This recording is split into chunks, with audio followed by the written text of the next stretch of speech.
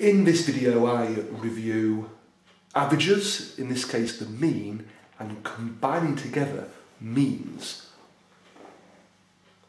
If you enjoy the video, please do share and subscribe. I do intend to try to update daily as best as possible, so please do revisit where possible.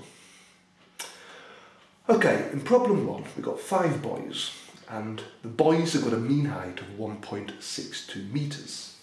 There are seven girls with a mean height of 1.55 metres. And we're asked to find the overall mean of all the boys and all the girls. Now a common error is to add together the two heights and divide by 2. But the problem is there were more girls than boys and therefore got to factor in this somehow in the calculation. Now then, we begin with the boys. Five boys with a mean height of 1.62. So this means that on average, each individual boy has an average height of 1.62. So if I do five lots of 1.62, that will tell me what the total height of all the boys is.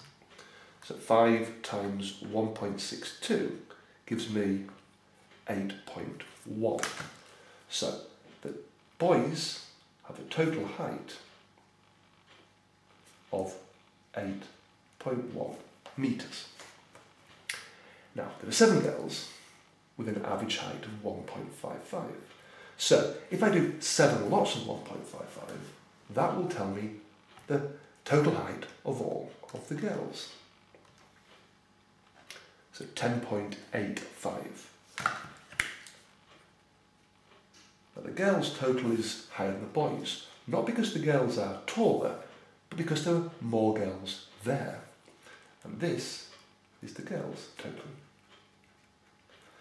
So, to find the overall mean, I can find the sum of all the heights of the people in the room. So 8.1 plus 10.85. Now I will do this on the calculator, which will finish off with division. So 8.1 plus 10.85 which as we know is just 18.95. However, to find the mean, we then divide by the total number of people.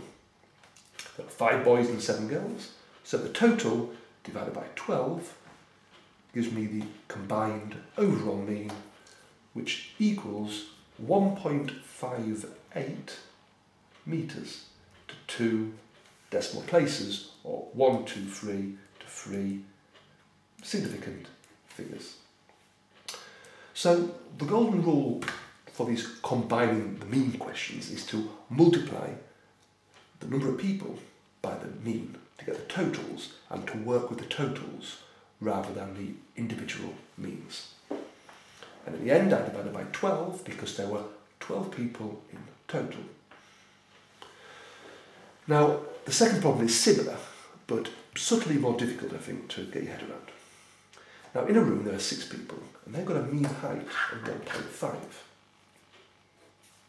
And one of these people, we don't know who, leaves the room, but we do know that one person has a height of 2 metres. So a very tall person leaves the room would expect the average to decrease.